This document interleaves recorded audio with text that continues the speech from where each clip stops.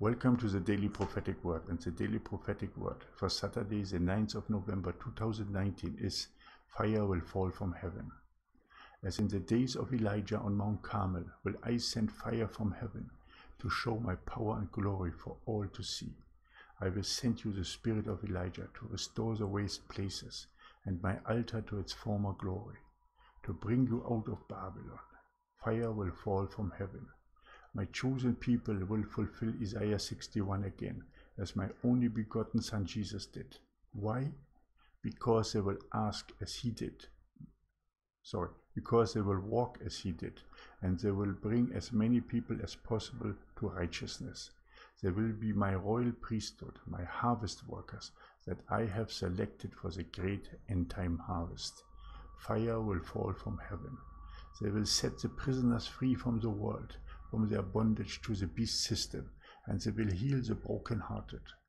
They will proclaim my kingdom on earth by going into the nations and establishing the dwelling places of Zion wherever they are. This will be my acceptable year. And this is the end of the message given by the Holy Spirit for Saturday, the 9th of November 2019.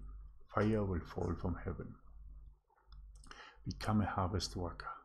Become more Christ-like. And when you come close to the way how Jesus walked, then you will fulfill his mission of Isaiah 61. Please watch our video in the Great Exodus series to listen what Isaiah 61 has said or open your Bible and go to Isaiah 61 and read it for yourself. Become a harvest worker. Join us. Walk with us to Mount Zion please also watch our video about Mount Zion 2025 and see what the mission of Triple Grace is and how you can be part of it and how you can establish a dwelling place of Zion in your neighborhood and gather the assembly with the helmet of salvation and the sword of the Spirit. You are called forth to be part of the royal priesthood of God and you are you were tried in the fire. You were tried in the wilderness and now you're ready to step forth to be the holy priest of the lord.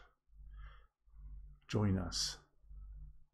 Help us to bring the messages forth into the nation. If you are guided please sow into the ministry so that we can bring forth more videos and more messages and that we can reach the four corners of the earth and that we can gather the people together because the harvest is great but the workers are few Thank you that you have listened to this daily prophetic word and be blessed for your donation and your help.